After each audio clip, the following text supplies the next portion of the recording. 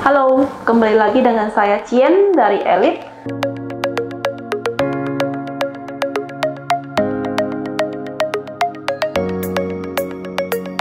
Hari ini kita akan membahas sedikit tentang product knowledge. Jadi masih banyak dari kalian yang pada saat mana tahu ya ingin renovasi atau hmm, membuat rumah, kalian masih sangat bingung tentang produk kaca. Jadi mungkin di sini saya akan menjelaskan secara singkat. Oke, okay.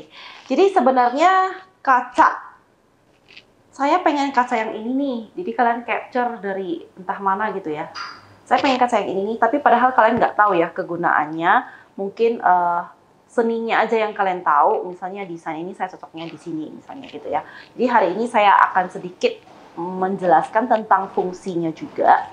Jadi sehingga kamu tahu. Jadi kalau untuk carport, untuk void rumah bagusnya itu pakai uh, produk apa? Pakai kaca tempered kah? Atau pakai kaca laminate kah? Atau pakai float glass? Jadi uh, hari ini saya akan sedikit menjelaskan tentang produk-produk kaca. Nah, kaca itu terbagi atas dua. Yang pertama itu produk kaca yang memang dari pabriknya datangnya udah sedemikian rupa. Contoh dari produk kaca itu adalah float glass, yaitu kaca yang datar, biasa, kaca bening. Nah, float glass ini terbagi lagi, ada ketebalan masing-masing, tergantung uh, pemakaian ya. Uh, ada ketebalan 5 mili, 6 mili, 8, 10, 12, 15, 19. Oke. Okay? Kemudian ada produk kaca cermin, yaitu dia datang dari pabriknya itu sudah menjadi cermin. Biasanya ketebalannya itu cuma 5 mili dan 3 mili dan kebanyakan dipakai itu 5 mili. Jadi hmm, dari sana datangnya udah berupa cermin.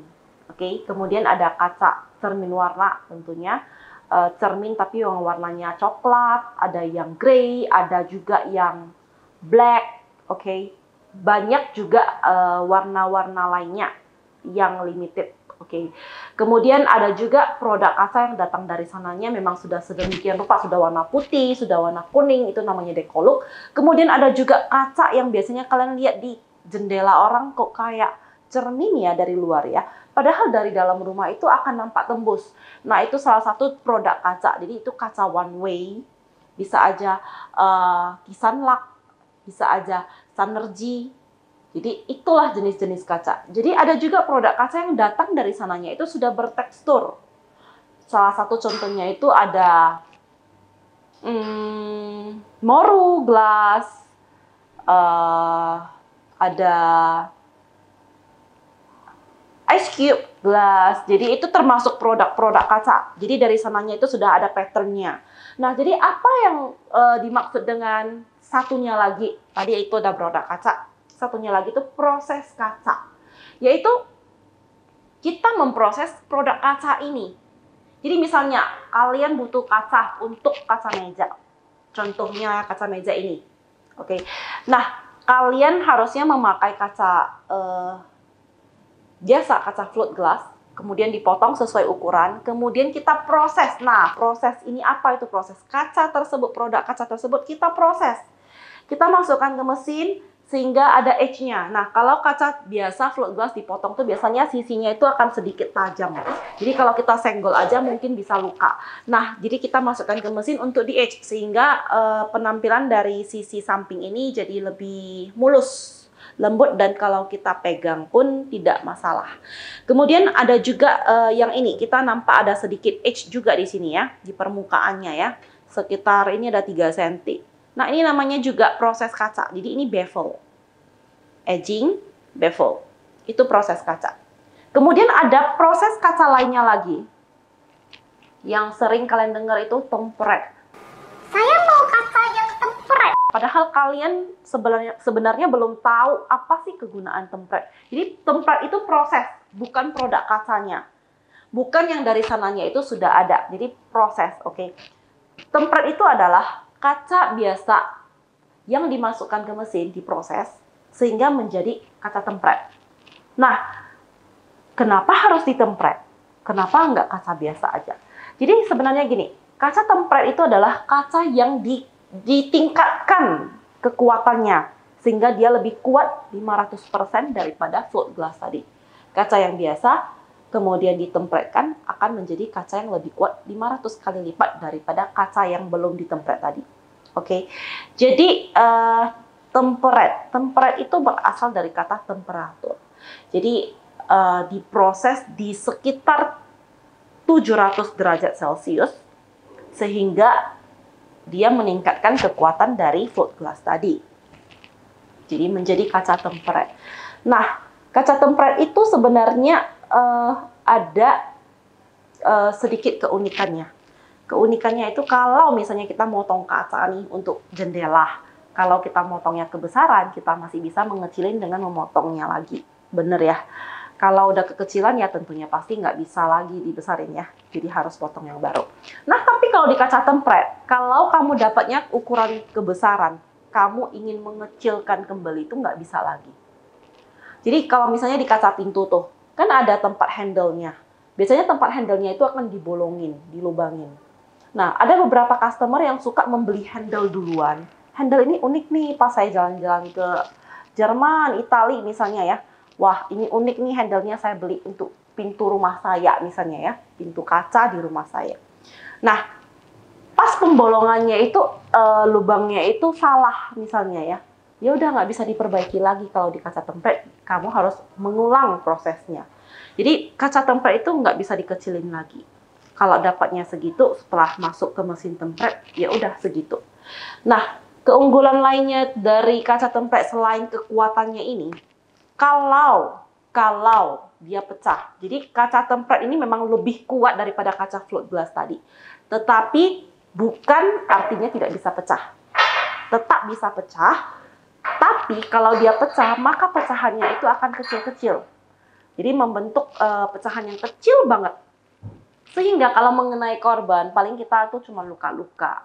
Kalau kaca biasanya, kaca biasa, kaca float glass yang belum ditempret, maka dia akan uh, lebih ini ya, lebih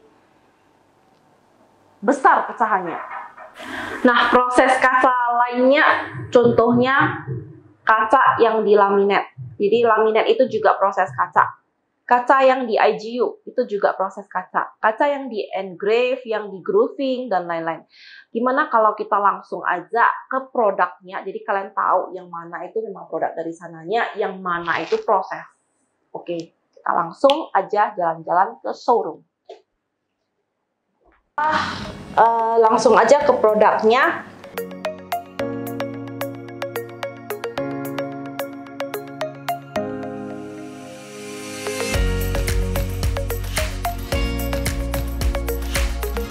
Jadi seperti ini ada cermin biasa, cermin brown, cermin grey, cermin hitam, ungu, gold, red wine, deco look, bla bla bla. Ini ada yang bertekstur, seperti ini teksturnya.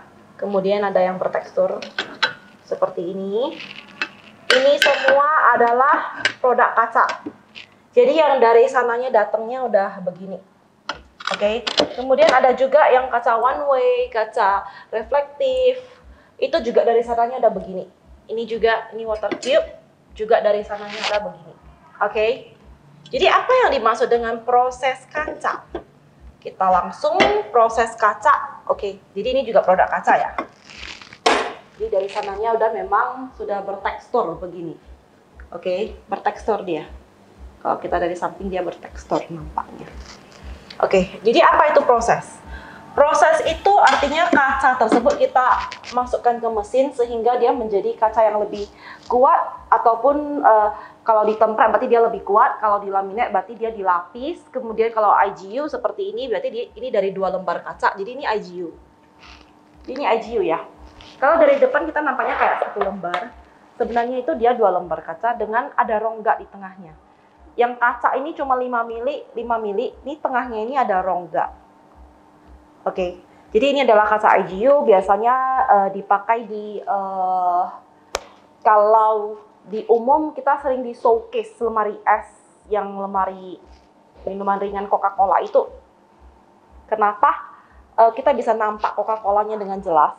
Karena di tengahnya itu ada ruangan yang dia menghambat uh, dari luar misalnya panas, dari dalam namanya juga lemari es dia kan dingin ya.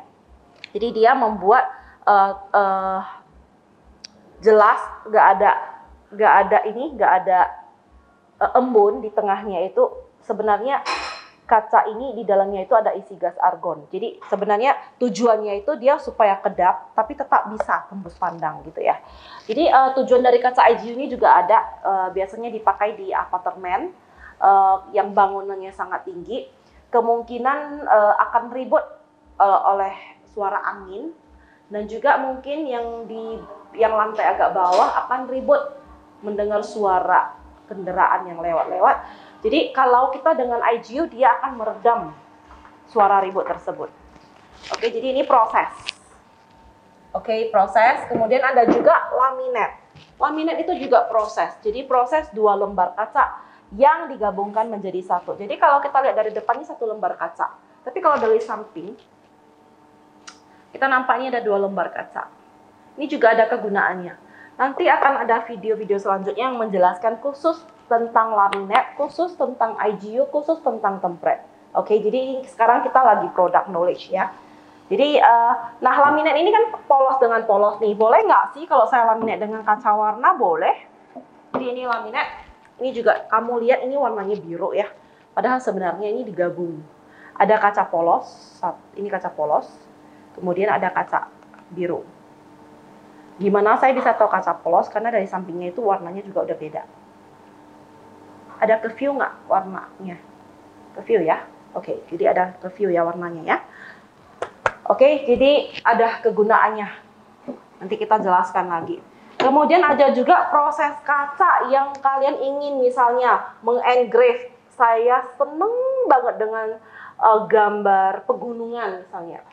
Saya ingin uh, membatas ruangan saya ini dengan kaca, kemudian saya ingin ada pemandangan uh, pegunungan. Boleh itu bisa di engrave. Jadi seperti ini nanti dia akan ada motifnya. Jadi ini di engrave. Kalau untuk engrave, gambar apa aja bisa. Jadi kalau kalian dapetin gambar dari Google, dari uh, dari mana aja, dari Pinterest, kalian kira-kira pengen gambar apa, pengen gambar muka, kalian juga bisa. Oke, okay? pengen nulis uh, misalnya nama kalian, nama anak kalian, nama keluarga kalian boleh bebas kalau untuk engrave. Jadi itu salah satu proses kaca di engrave. Kemudian juga ada proses kaca yang namanya di grooving. Jadi uh, di permukaan kaca kita grooving, kita buat ada tekstur. Ini contohnya. Jadi ada teksturnya. Jadi setelah nanti kalau ini semua proses ini digabung itu akan ada art yang sangat indah gitu ya. Mungkin kita jalan sebelah sana. Oh ini dulu. Dan ini juga proses. Jadi kalau kita lihat ini di edge-nya ini ada proses aging. Sehingga dia membentuk ada edge ya. Kayak berlian nggak sih? Berlian kan ada cuttingannya. Nah, ini juga ada sedikit cuttingannya. Jadi cuttingannya ini juga bisa dibedain, ada beberapa macam. Kalau yang ini uh, edging, yang uh, alisnya lebih besar. Oke. Okay. Kemudian ada juga ini namanya OG. Jadi sampingannya ini sisi edge-nya ini juga uh, bisa ini ya.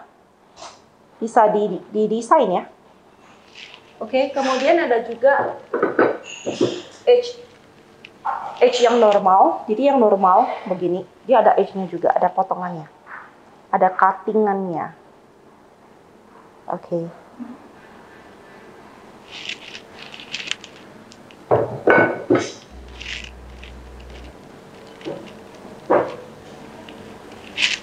Kemudian juga bisa di edge begini agak ada bergelombang. Yang hitam-hitam ini stiker ya. Stiker supaya kalau kita pas megang kaca dengan satu dua lembar kaca itu dia nggak kegores, masih ada jeda. Oke. Okay? Yang ini, jadi kaca ini dibolongin dengan proses water jet biasanya untuk kaca blok kalian sering lihat kaca blok kan dia agak agak buram ya. Nggak bisa tembus ya. Kalau kalian yang pengen tembus ini ada. Terus uh, boleh kalian uh, request untuk motifnya. Lanjut. Proses kaca.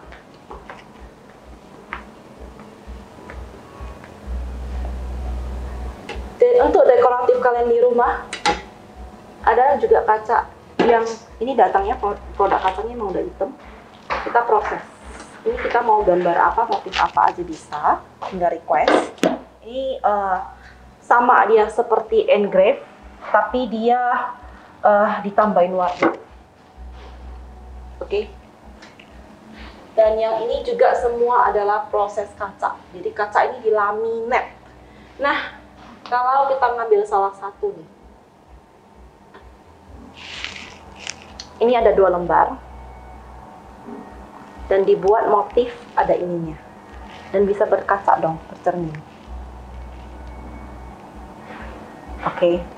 Nah, itulah perbedaan ada produk kaca dengan ada proses kaca ya. Selain dari yang tadi saya jelaskan juga ada kaca laminate yang bisa diisi. Jadi namanya laminate itu tadi kita lihat ada motif di dalam, ini sama juga ada motif di dalam. Ini kita bisa isi film. Oke. Okay. Ada kategori film yang bisa masuk, tidak semua bisa masuk. Mana tahu ada kalian yang pengen masukkan foto keluarga kalian itu ada bahan yang masuk itu ada kriterianya, nggak sembarangan barang bisa masuk. Oke, okay? nggak sembarangan uh, film bisa masuk. Oke. Okay?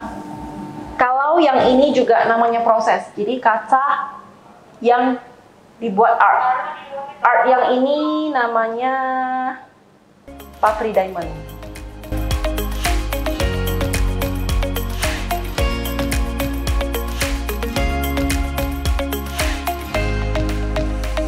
So aja ke dalam, Nah, yang di lantai ini juga semua adalah kaca.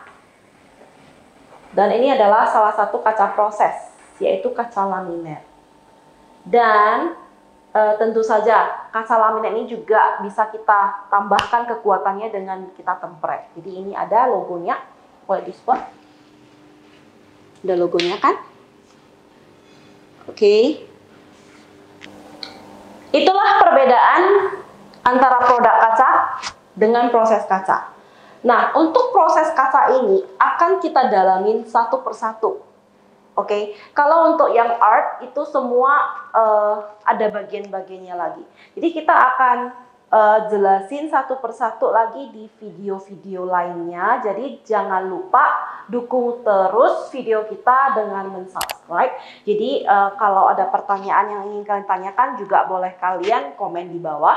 Jadi kalian juga harus mendukung video kita supaya kita bisa terus-terusan membuat video-video baru lagi uh, mengikuti uh, pertanyaan dari kalian. Jadi kalian nggak ngerti apa, kita akan buat video-video lainnya. Jadi termasuk kalian bantu kita mencari konten baru lagi, oke? Okay? Sekian video kita hari ini. Terima kasih.